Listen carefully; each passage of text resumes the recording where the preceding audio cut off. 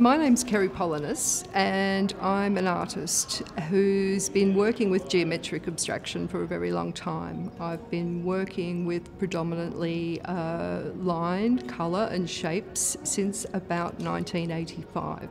Today, and the last few days, we've been making this big drawing on the wall in the foyer here called Blue Wall Drawing Number Two.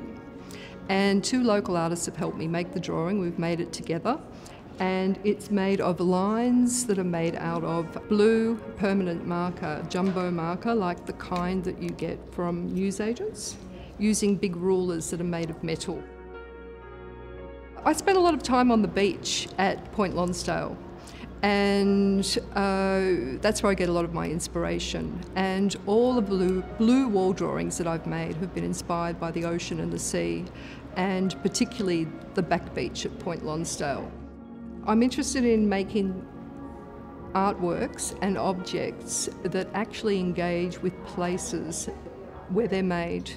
And so I uh, do a lot of drawing on the beach and thinking about how an artwork might engage with the circumstances that it's in and make exhibitions of um, non-objective monochrome diamond paintings on plastic which I install as exhibitions in various places and landscapes um, like the beach. A lot of these happen at the beach during summer.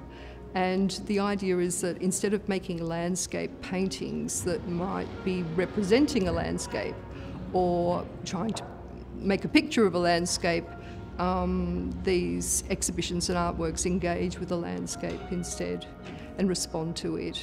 And so I might choose particular colours for a place and um, I do a lot of this activity down the beach so the beach is really a kind of a learning place for me, and I love the way it's so um, ephemeral. You know, the the sea washes away the lines of drawings, and uh, the tide comes in and destroys painting exhibitions, and um, just the way this wall drawing will be painted over afterwards, and um, the process of doing making making art and making drawings and making exhibitions is just as important as um, the final product. So a lot of the work I make, even though it is geometric and abstract, it relates to nature in a really quite specific way. So I started thinking about this idea of making these wall drawings and making instructions for them so that other people could make them and uh, so that they would turn out differently each time they're made. So the people that make the drawings, um, instead of measuring key reference points in the geometry, they guess or they decide where they are themselves within a certain range, which means that each time the drawings are produced, they turn out quite differently. To make the instruction book for Blue Wall Drawing Number Two, I have to actually make it somewhere and go through the whole process step by step of what it involves, uh, what goes wrong, what goes right, and how it might adjust for different places because all of the drawings that I make are um, site responsive in some way. They adjust to the circumstances and the place where they're made.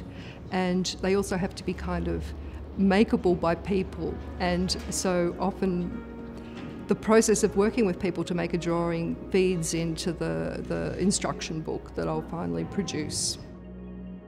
Yeah, I'm really interested in um, this idea of it being a, a, full body process where you become immersed in the geometry of the drawing and that the drawings take as long as they take to make, that they don't need to be made quickly, and that the people making them are able to kind of uh, just enjoy the process of drawing on the wall with Texticolours and um, uh, making a big work together in a collaborative way.